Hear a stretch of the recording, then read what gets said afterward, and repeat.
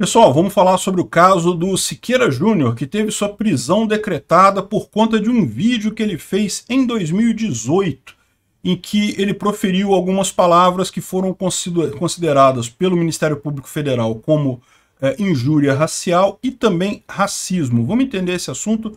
Essa notícia aqui foi sugerida por as várias outras pessoas do Peter, Laker84 e várias outras pessoas. Obrigado aí ao pessoal que sugeriu a notícia, obrigado a você que está assistindo o nosso vídeo. Se você gosta do nosso conteúdo, por favor, deixe o seu like, se inscreva aqui no canal, né?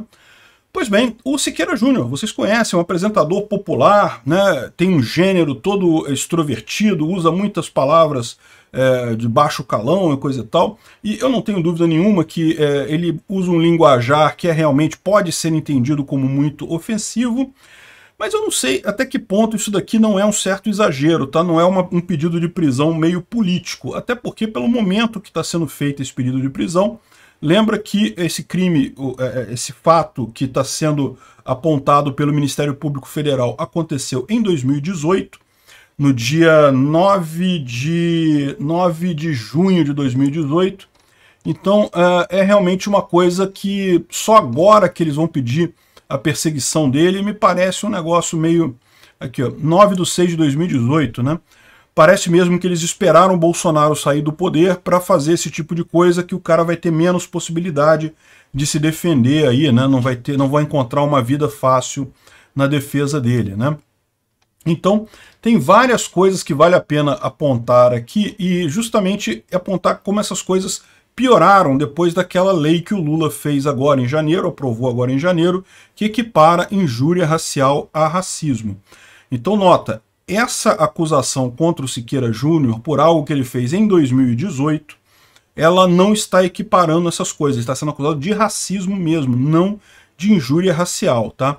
Até é, janeiro desse ano, até a promulgação da lei, é, qual que é o nome da lei mesmo? É a lei 14.532 de 2023, é, injúria racial era uma coisa, racismo era outra. E qual que é a diferença disso? Injúria racial é quando você ofende uma pessoa alegando algum aspecto da etnia, da cor dela, da raça, da procedência, coisa e tal, da religião. Isso você ofendia a pessoa, isso era uma injúria racial. Injúria, vocês sabem, é o termo técnico para xingar alguém, para é, falar alguma coisa contra uma pessoa, né? Não precisa ser palavrão não, tá? Qualquer palavra que seja de, em termos depreciativos é, pode ser entendida como injúria, né? E além disso, além da injúria, você já tinha o crime de racismo. O que é o crime de racismo? É justamente o artigo 20 aqui desse, dessa lei 17716, é, não, desculpa, 7716, que uh, diz o seguinte, que é praticar e induzir a discriminação ou preconceito de raça, cor, etnia, religião e procedência nacional.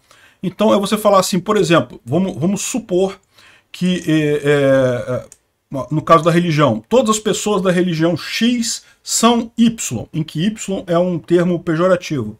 Isso quer, quer dizer que eu estou sendo preconceituoso, estou estimulando o preconceito contra as pessoas da religião X. Então, isso é racismo. E é um crime já de 1 a 3 anos de multa. E se isso for feito por intermédio dos meios de comunicação social, publicação em redes sociais, rede mundial de computadores ou publicação de qualquer natureza, a pena sobe para 2 a 5 anos e multa. Né? E 2 a 5 anos tem aquela coisa que eu já mencionei para vocês em outros vídeos aqui no Brasil, até 4 anos de cadeia, para quem é réu primário, se você nunca cometeu um crime na sua vida, nunca foi preso antes, se você for condenado por um crime até 4 anos de cadeia, você consegue se safar de, com relativa facilidade. Você vai pagar é, é, é cesta básica, esse tipo de coisa, mas não tende a ter é, nenhuma complicação maior para você, crimes até 4 anos, mas 4 anos é o limite. Como esse daqui é de 2 a 5 anos, a coisa muda de figura. Você já pode ter prisão preventiva, já pode ter prisão temporária, pode ter prisão em flagrante, já pode ter um monte de coisa ali adicionalmente nesse caso que você de crime que já passa de 5 anos, como é o caso do crime de racismo. Né? E, e bem, lembra, isso era antes da lei que o Lula aprovou agora em janeiro de 2023. Havia duas coisas diferentes. Uma coisa era você insultar alguém chamando você é uma X. E, e, esse X era uma coisa depreciativa devido à raça dessa pessoa que eu estou insultando, né? a raça, a religião, a cor e etc. Então isso é injúria, eu estou direcionando a ela. Outra coisa eu dizer, eu dizer que toda pessoa da raça X é Y. E aí eu estou fazendo, é o preconceito, eu estou falando sobre todas as pessoas dessa raça, eu não estou falando só sobre uma pessoa específica. O que o projeto do Lula, o que a lei do Lula fez foi equiparar as duas coisas. Então agora tanto faz os crimes das duas coisas, as penas são as mesmas, né? Mas tem outra diferença também. A outra diferença é que a injúria racial ela só procede mediante reclamação da pessoa. Então, se a pessoa que foi ofendida ela não reclamou de você, não tem problema, você não vai ser é, processado por isso. Como agora, é, mas o crime de racismo não, o crime de racismo é, é de ação pública, o que quer dizer que o Ministério Público Federal pode te processar, mesmo que ninguém tenha reclamado daquilo que você falou, né?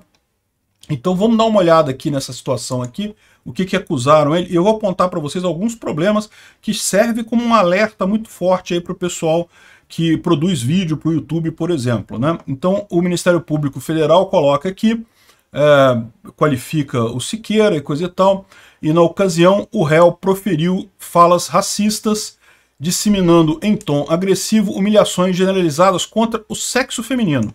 E aí é um outro ponto importante, tá? Essa lei aqui, ela fala de discriminação ou preconceito de raça, cor, etnia, religião ou procedência nacional.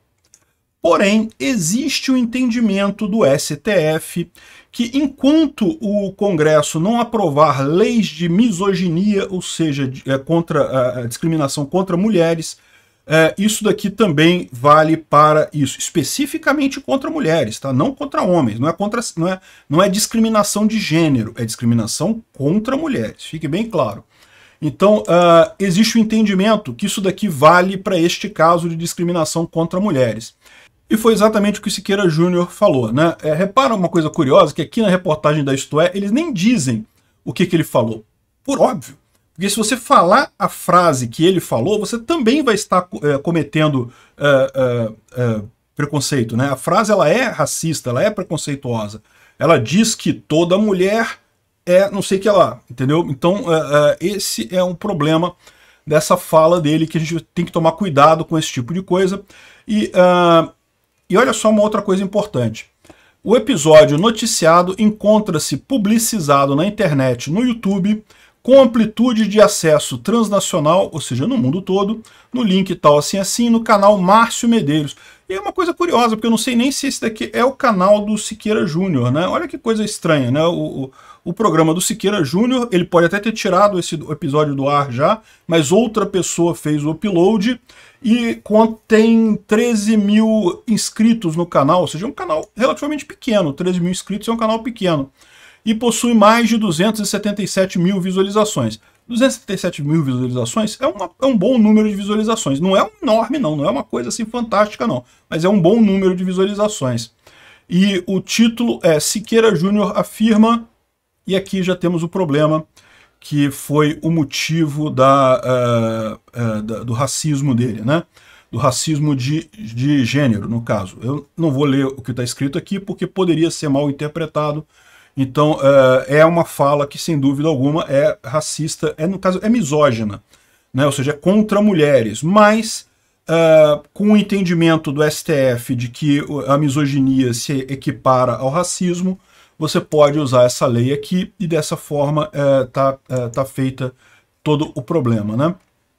Ele descreve aqui um monte de outras coisas. Aqui está toda, toda a parte que seria a, a, a problemática do vídeo. O, a, a, moça lá, ela parece que é uma, era, estava em custódia do sistema prisional, ou seja, era uma presidiária, e o, o Siqueira usou vários insultos contra, contra ela, né? Não vou falar, não vou ler aqui para evitar problema, mas ele falou um monte de coisa aqui contra ela. É, mas aqui, até aqui, ele está fazendo é, injúria. Né? Ele está injuriando ela, está ofendendo ela, mas é, é, ainda era o crime de injúria. Então, naquela época, ainda não tinha problema isso daqui, é, como, como o fato aconteceu em 2018, essa lei atual não estava valendo ainda, não tinha problema isso daqui. É, Agora, mais adiante ele fala aquela frase fatídica, né? É, e, e, parece que tem outras frases que ele fala aqui também. E isso daqui seria é, certamente uma fala misógina, né? E, e é, com a equiparação ao crime de racismo foi interpretado dessa forma. Eles explicam aqui, ó.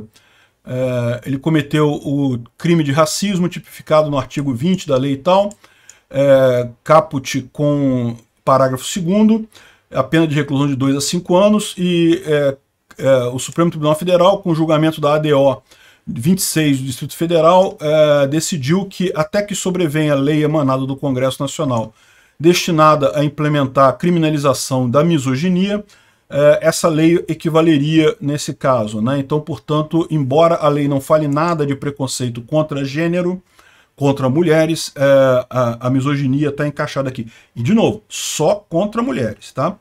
Enfim, uh, serve de alerta para todo mundo. Eu não sei se o juiz vai aceitar esse pedido de prisão, tá? O, o, promotor pediu. Se o juiz vai aceitar ou não, a gente não sabe. Mas certamente isso vai dar um bocado de dor de cabeça para o Siqueira Júnior, né? Repara a problemática que a gente tem hoje, né? É, é, a quantidade de vídeos, de aulas de pessoas falando, de horas de pessoas falando na internet, e qualquer coisa pode ser usada dessa forma, né? É, veja, a pessoa que tem realmente um pensamento racista é as pessoas que têm essa visão racista, misógina, eu acho que estão erradas mesmo, né? acho que estão erradas. Mas a minha questão é, é, é, falar em vídeos. Muitas vezes você comete deslizes, você fala uma coisa e é, não é bem aquilo, né? Enfim, me parece um problema muito sério isso daqui. A gente pode estar tá caminhando para uma situação que qualquer pessoa, se fizer uma pesquisa profunda o suficiente, consegue prender qualquer outra pessoa por alguma coisa que tenha sido falada em algum momento. Né? É realmente meio preocupante isso daqui. Essa lei está ficando cada vez mais uh, rigorosa nesse aspecto. Foi essa mesma lei, com essa mudança uh, que o Dilma fez, que fala em uh, aumentar a pena em caso de, de, de ser falado com o intuito de descontração, diversão ou recreação. Ou seja, se você estiver contando uma piada sobre o caso, é ainda pior, né? Então, para você ver o quanto que é, é, o quanto que é crítico isso daqui, né? Obrigado por assistir o vídeo até o final. Além de curtir, compartilhar e se inscrever no canal, considere se tornar patrocinador com valores a partir de R$ 1,99 clique no botão Seja Membro abaixo para saber as condições e vantagens de patrocinar o canal. Mais informações sobre o nosso projeto, visite nossos sites indicados na tela.